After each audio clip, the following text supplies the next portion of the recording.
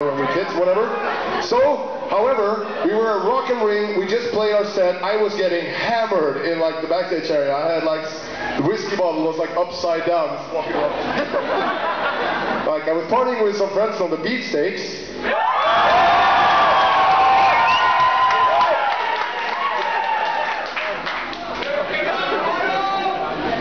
The Beatsteaks. Partying with some friends. I was partying. I was. Aye, aye. Fuck that. I was partying with some friends on the Beatsteaks. Everybody shut the fuck up or I can't finish the story. Uh, I was partying with some friends on the Beatsteaks and and this guy, Campino.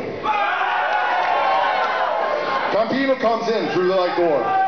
And he walks up to me and he takes me by the hand and like shakes my hand, looks me and says, Hey man, that's fine klasse uh, fucking show. Or like, really love your show, your album's fucking great, we should totally play together sometime. And I'm like, who, the fuck is this old fam dude?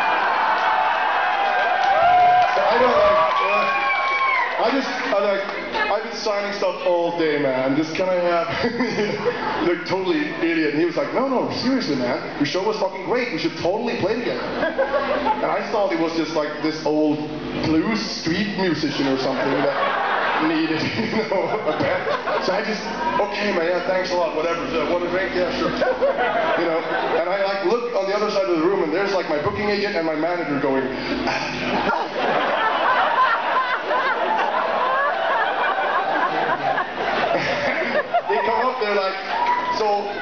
This is Campino from Die Toten Hosen. Campino, Adam, selbstverständlich.